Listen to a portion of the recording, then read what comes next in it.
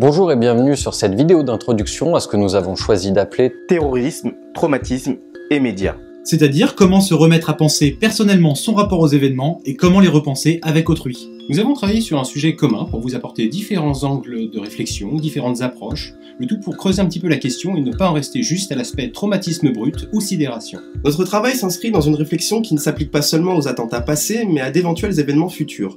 Vous trouverez à la fin de cette vidéo d'introduction des liens vers les différents sujets que nous avons abordés sur cette difficile question. Pour ma part, je vous parlerai des enfants et des écrans, du rapport aux médias et aux victimes collatérales. Pour notre part, nous avons décidé d'aborder le lien entre le traumatisme et le terrorisme, puis entre traumatisme et radicalisation, et enfin le lien entre traumatisme et guerre des images. Pour ma part, j'ai décidé de parler d'un exemple de radicalisation et d'un exemple de témoignage sur le traumatisme. Chaque fin de vidéo ouvrira à nouveau la réflexion en vous proposant d'autres liens cliquables pour penser notre rapport aux attentats actuels. Nous vous rappelons qu'en aucun cas nous ne souhaitons apporter une vérité générale mais plutôt des interrogations pour éviter de rester dans l'émotionnel. Vous pouvez dès à présent cliquer sur la vidéo d'autre choix, il n'y a pas d'ordre particulier à respecter. Nous vous souhaitons un bon visionnage et nous vous invitons à poursuivre la réflexion dans les commentaires.